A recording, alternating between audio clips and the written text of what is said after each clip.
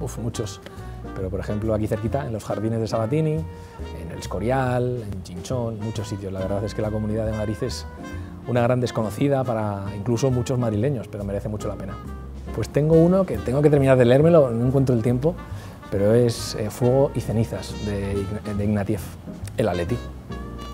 Pues me gusta mucho la bien aparecida en Jorge Juan. Al teatro, la última vez he ido, bueno, ha sido un monólogo de Goyo Jiménez. Al teatro no me acuerdo ahora mismo, seguramente el año pasado, hace un par de años. Pues a la ópera hace mucho tiempo. He estado en, varios que me gustan. Me gusta Alejandro Fernández, por ejemplo, que no es muy normal, eh, no es muy conocido en España.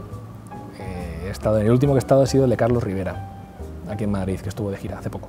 Bueno, hay que defender la sanidad pública ¿no? y, por supuesto, la libertad de los madrileños de elegir la sanidad privada si quieren. Eh, pues me he enganchado a Narcos y la última que he visto, El embarcadero, de Movistar.